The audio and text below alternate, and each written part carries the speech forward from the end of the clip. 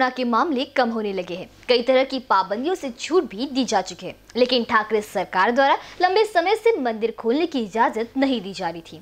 ऐसे में इस मुद्दे पर राज्य में जमकर विवाद था। बीजेपी लगातार सरकार को कटघरे में खड़ा कर रही थी।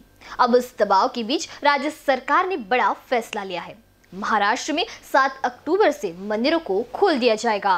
जानकारी दी गई है कि नवरात्रि के पहले दिन, यानी कि 7 अक्टूबर से राज्य के सभी मंदिरों को खोल दिया जाएगा। सीएम ऑफ़िस की तरफ़ से एक बयान जारी कर ये फैसला सुनाया गया है। अब मंदिरों को खोलने की इजाज़त ज़रूर दी गई है, लेकिन कोरोना नियमों का सख्ती से पालन करना होगा। सरकार ने स्पष्ट कर दिया है कि कोरोना नियमों का हर स्थिति में पालन होना आवश्यक रहेगा।